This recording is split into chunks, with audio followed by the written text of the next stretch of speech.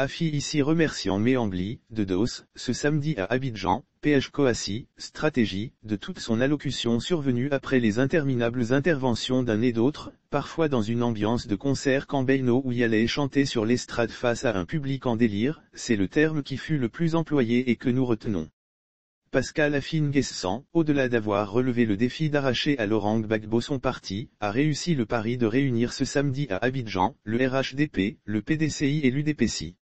Ils ont tout répondu favorablement à l'invitation du 6e congrès extraordinaire du Front populaire ivoirien, FPI, qui s'est tenu au Palais des Sports de Trècheville. Comme annoncé hier, le parti au pouvoir fut bel et bien représenté par deux de ses plus fortes personnalités, Adama Bictogo et Évariste Méangli côté PDCI, si Bédier n'a pu faire le déplacement, c'est Eusali qui fut chargé de le représenter compagnon du Mornay CNT de la présidentielle d'octobre 2021, Mabri Touaqueuse était également présent.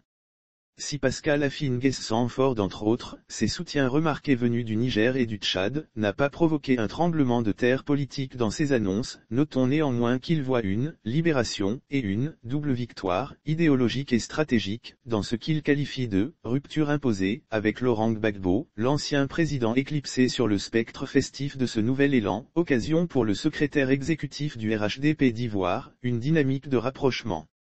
Si stratégie fut le leitmotiv d'Afi, le rapprochement fut clairement celui exprimé du pouvoir. Pour rappel, le FPI aux allures d'opposition se réclame de l'international socialiste et prône des valeurs d'humanisme. Pour information, l'ancien Premier ministre soucieux de bonne communication avait sa compagne, Angéline Kili, à ses côtés.